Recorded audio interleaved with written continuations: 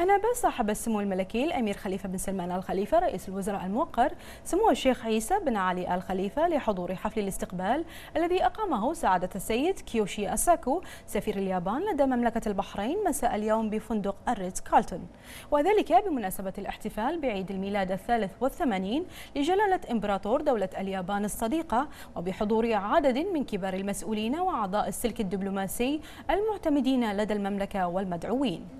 ونقل سمو الشيخ عيسى بن علي الخليفة تهاني صاحب السمو الملكي رئيس الوزراء الموقر إلى جلالة الإمبراطور أكيهيتو وتمنية سموه له بموفور الصحة والعافية ولدولة اليابان وشعبها الصديق باستمرار التقدم والتطور على كافة المستويات.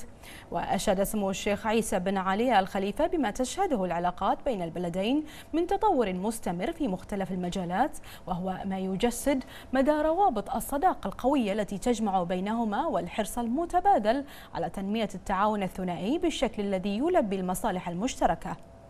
من جانبه تقدم سفير اليابان بخالص عبارات الشكر والتقدير إلى صاحب السمو الملكي رئيس الوزراء على اهتمام سموه بكل ما يعزز من نماء العلاقات الثنائية بين البلدين الصديقين مؤكدا حرص بلاده على الارتقاء بمجالات التعاون مع مملكة البحرين إلى آفاق أرحب تعود بالنفع على البلدين والشعبين الصديقين منوها بما تشهده البحرين من نهضة وازدهار في شتى القطاعات.